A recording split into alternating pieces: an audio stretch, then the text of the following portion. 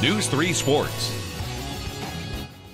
Olympic wrestling had its challenges today, but high school wrestling had a very big night around the state. The sectionals of the team wrestling tournament in Milton tonight. Division One, fourth-ranked Mount Horeb Barneveld faces ninth-ranked Badger.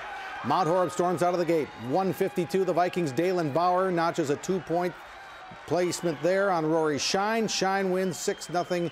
Vikings up 9-3. After another Vikings win, made it 12-3. Matt Bloom and Andrew Seichner battle in the 170 pound class. Seichner gets a 12-3 major to make it 16-3 Mount Horeb Barneveld, but Badger puts on a huge rally to advance to the team state tournament.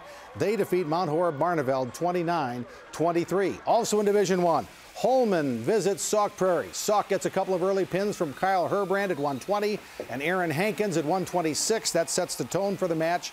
The fifth-ranked Eagles roll to state with an impressive win over sixth-ranked Holmen. Sauk Prairie wins it 37-23.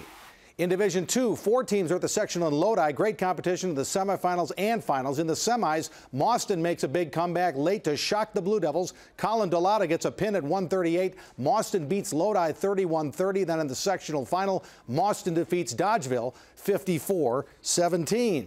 And in Division Three, the Lancaster Flying Arrows are ranked number one in the state. They showed why tonight in the sectional at Brookwood. Lancaster rolls to a 69-12 win behind a pin from Jacob Slater in the semis. Then in the sectional final, Lancaster 41, Weston Ithaca 29. So the Flying Arrows go to state. Johnson Creek also eliminated in the semifinals at Markesan tonight.